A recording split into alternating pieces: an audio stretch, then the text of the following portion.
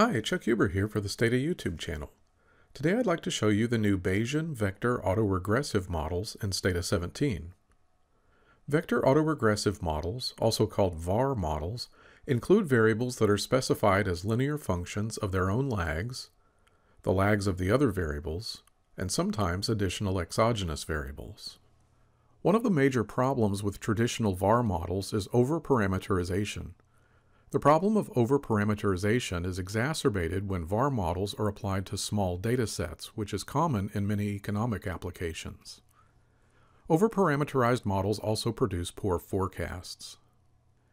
Bayesian VAR inference is a useful alternative because of flexible priors, reliable lag selection criteria, and efficient sampling algorithms capable of producing precise Bayesian estimates.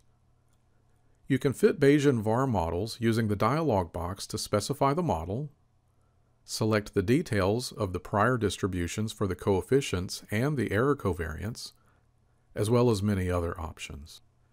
After you fit the model, you can check the stability conditions, interpret the model in terms of impulse response functions and forecast error variance decompositions, and compute Bayesian dynamic forecasts.